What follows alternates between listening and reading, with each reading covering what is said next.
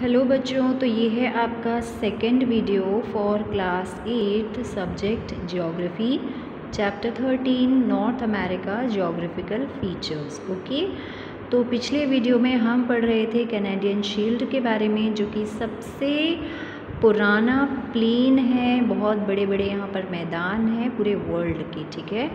और ये जो शील्ड है बेटा, ये दोनों तरफ़ से ऑल साइड से, दोनों तरफ़ से नहीं, सभी साइड से हुडसन बे से सराउंडेड है, ठीक है? जैसे हमारे यहाँ बे ऑफ़ बंगाल है, बंगाल की खाड़ी जिसे हम कहते हैं, वैसे ही यहाँ पर हुडसन बे है, ठीक है? मैं आपको डायग्राम में दिखाती हूँ मैप में दिखाती हूँ, ठीक है? ये देखिए बच्चों, ये बे ऑफ़ हुडसन है है ना? और ये पूरी इसे कैनेडियन शील्ड ये बहुत बड़ा मैदान आप इसे बोल सकते हैं, इस तरह से। प्लेन है ये, ठीक है? सेंट्रल देखिए ग्रेट सेंट्रल प्लेन्स लिखा हुआ है ना? दैट मीन्स मैदान यहाँ पर, ठीक है? मैदान का मतलब बेटा प्ले ग्राउंड नहीं होता है सिर्फ़, मैदान का मतलब होता है कि मतलब ऐसे एरिए जहाँ पर पहाड़ नहीं है, ठीक है? ओके अब अगर हम देखें बेटा तो यहाँ पर बहुत सारे लेक्स हैं, ठीक है? फाइव ग्रेट लेक्स हैं स्वीट एंड फ्रेश वाटर के, इनके नाम हैं Superior Michigan Huron Erie Ontario ठीक है? फ़ेमस नाइग्रा फॉल भी यहीं लोकेटेड है between Erie lake and lake Ontario Ontario के बीच में, ठीक है?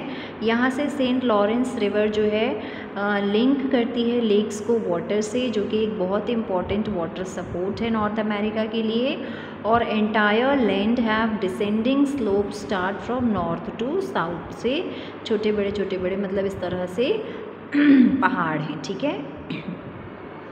आगे देखेंगे हम influence of the ocean current ocean currents का इस पर क्या असर पड़ता है? नॉर्थ अमेरिका पे, ठीक है? तो Rocky mountain range is main water divider in North America where flow of rivers divert in different directions तो रॉकी माउंटेन रेंजेस जो है बेटा मेन वाटर डिवाइडर है नॉर्थ अमेरिका की पहाड़ों के बीच के लिए, जहाँ पर फ्लो ऑफ़ रिवर्स जो है मतलब रिवर्स जो हैं, अपने डायरेक्शंस को डाइवर्ट करती हैं, ठीक है?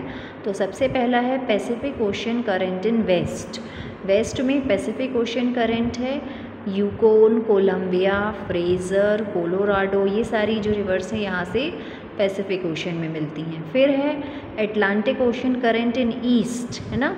यहाँ पर Saint Lawrence Mississippi Missouri Rio Grande Grande, Mississippi river, यहाँ पर डेल्टा बनाती है और फिर जाके कहाँ मिल जाती है? गल्फ़ ऑफ़ मैक्सिको में।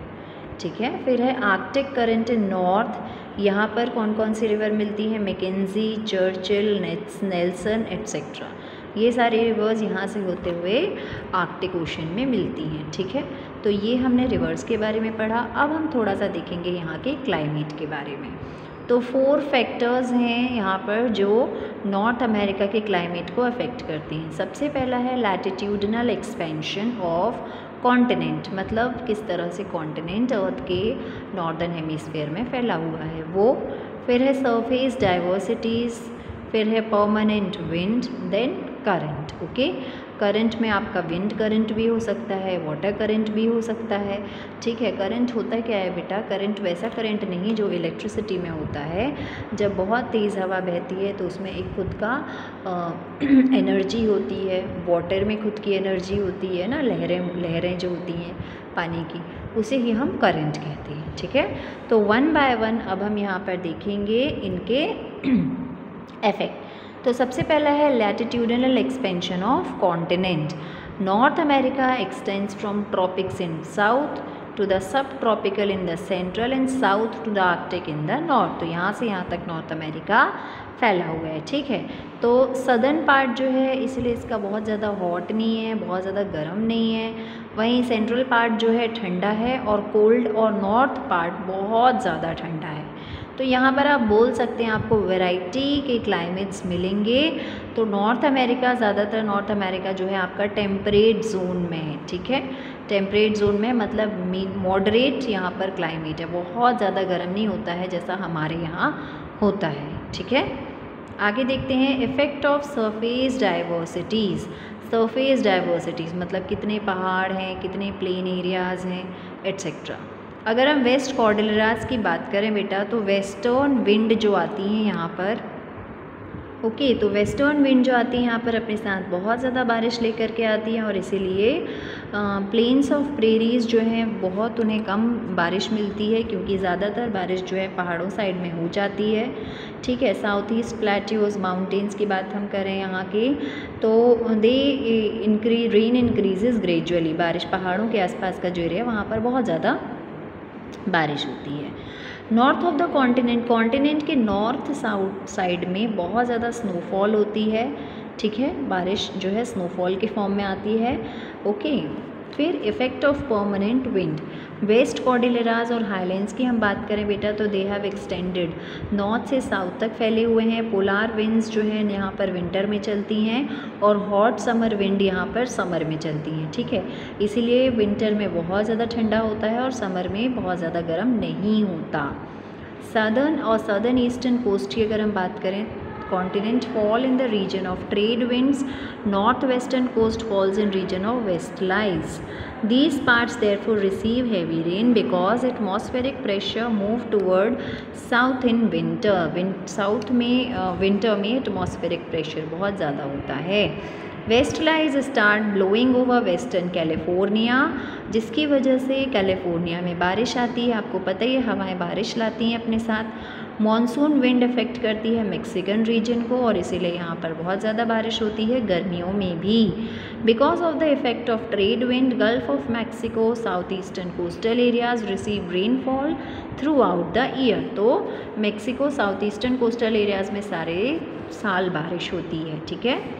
इफ़ेक्ट ऑफ़ करेंट्स की अगर हम बात करें बेटा तो hot and cold current flowing near coastal areas affect the climate coastal areas में जो हॉट एंड कोल्ड करेंट होते हैं वाटर की वजह से कोस्ट सी की वजह से वो क्लाइमेट को अफेक्ट करते हैं। Gulf stream south east coast में फ़्लो होते हुए जाती है तो Alaska current flows with the north western coast because of the effect of these current temperature near the coast does not dip very slow they receive same rain also और इन currents की वजह से कोस्टल एरियाज़ का जो temperature है वो बहुत ज़्यादा लो नहीं होता है मॉडरेट रहता है, ठीक है? कोल्ड लेबरेडर करंट पास होते हैं नॉर्थ ईस्टर्न पार्ट से। Californian current flows along the south western past. Part and they make the climate of these coastal regions extremely cold और यही कैलिफोर्नियन करंट जो है, कोस्टल एरियाज़ का जो क्लाइमेट है, बहुत ठंडा करते हैं, ठीक है?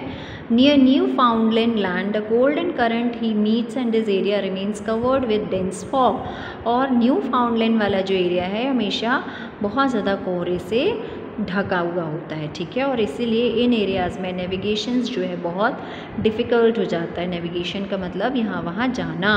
Changes in temperature and fog are very helpful for fishing, therefore, this area is famous all over the world for fishing.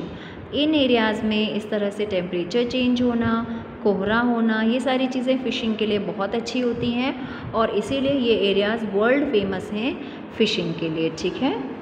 Distribution of rainfall की अगर हम बात करें बेटा तो कॉन्टिनेंट में ज़्यादातर बारिश जो है समर के सीज़न में होती है, ठीक है?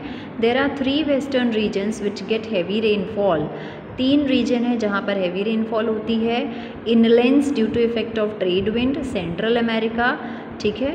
Then western western wind in the western coast of British Columbia ये ऐसे एरियाज़ हैं जहाँ पर बहुत हैवी रेनफॉल होती है। तो as we proceed from east coast to western areas distribution of rainfall becomes very low जैसे जैसे आप ईस्ट कोस्ट से वेस्टर्न एरियाज़ में बढ़ेंगे, बारिश का डिस्ट्रीब्यूशन जो है वो कम और कम होता जाएगा। Arizona desert in south west of U S United States have very scanty rainfall Arizona desert जो है साउथ वेस्ट का यूएस का, यहाँ पर बहुत कम बारिश होती है, ठीक है? चलो अब हम बात करेंगे natural vegetation and wild life की। तो climate and physical features have great influence on natural vegetation किसी भी एरिया का बेटा क्लाइमेट और वहाँ के फ़िज़िकल फीचर्स मतलब किस तरह के पहाड़ हैं, मिट्टी कैसी है है ना? प्लाट्यूज़ कैसे हैं, किसी भी एरिया की ये चीज़ें वहाँ के वेजिटेशन पर अफेक्ट करती हैं, ठीक है? क्योंकि वेजिटेशन उनका ग्रो होना, उनका सर्वाइव करना क्लाइमेट पर डिपेंड करता है। अब नॉर्थ अमेरिका एक ऐसा क्लाइमेट है वाइल मेडिटेरेनियन वेजिटेशन है वहाँ पर मतलब हर तरह की वेजिटेशन वहाँ मिल जाएगी ओके क्यों? क्योंकि यहाँ पर क्लाइमेट और अनइवन डिस्ट्रीब्यूशन ऑफ़ रेनफॉल है। हमारे यहाँ जैसा नहीं कि चार चार महीने बारिश हो रही है तो हो ही रही है, ठीक है? फिर diversity is witnessed in vegetation also मतलब विविधता आपको देखने को मिलेगी वेजिटेशन में भी. North America is rich in forest wealth जंगल भी बहुत है यहाँ पे. Distant northern part of tundra remains covered with snow northern part में जो टुंड्रा रीजन है, वो हमेशा बर्फ़ से ढका हुआ होता है। Maximum period of the year मतलब साल का ज़्यादातर हिस्सा यहाँ पर बर्फ़ से ढका होता है। और सिर्फ़ कुछ ही हफ्तों की गर्मी यहाँ पर पड़ती है, ठीक है? Mostly this land is covered under snow so big trees can not grow अब जब बर्फ़ से ढका हुआ है तो यहाँ बड़े बड़े पेड़ नहीं है बेटा। टुंड्रा वेजिटेशन है जिसमें मॉस लाइचन स्मॉल श्रब्स मतलब ये काई वगैरह है ना छोटे छोटे पौधे जिसमें जो कुछ फूल होते हों ये सब कुछ यहाँ पर है। देन आपको वैरायटी ऑफ़ यहाँ पर घास मिलेगी ठीक है? आपको ज़्यादातर एरिया बर्फ़ से ढका हुआ और बैरन दिखेगा मतलब आ, कैसा? एकदम बंजर। कुछ एक एनिमल्स यहाँ पर पाए जाते हैं, जैसे कि रेनडियर यहाँ पर पाए जाते हैं ना, बारासिंगा जो होते हैं यहाँ पर इन्हें कामधेनु कहा जाता है एस्केमोज की, ठीक है? क्योंकि इनके ऊपर इनसे कार्ट फंसा करके इन पर ट्रैवलिंग करते हैं सामान यहाँ वहाँ लेके जाते हैं। साउथ टुंड्रा की हम बात करें तो ईस्ट से वेस्ट तक फैला हुआ है, जो कि ठंड में बहुत ठंडा होता है। और ये पूरा एरिया जो है कॉनिफरस फॉरेस्ट बेल्ट कहा जाता है, ठीक है? यहाँ पर कॉनिफरस ट्रीज़ होते हैं, जो कि कॉनिकल शेप्स के होते हैं, आप सभी को पता होंगे। ठीक है? एक बार यहाँ पर आप देख लीजिए नेचुरल वेजिटेशन मैप के यहाँ पर शो किया गया है। है ना? ये prairie grass land taiga province high desert vegetation semi desert vegetation Gulf of Mexico etcetera okay तो बच्चों, मैं ये वाला वीडियो यहीं पर फिनिश कर रही हूँ। वीडियो को आप ध्यान से देखिएगा, आपको सब कुछ अच्छे से समझ में आएगा।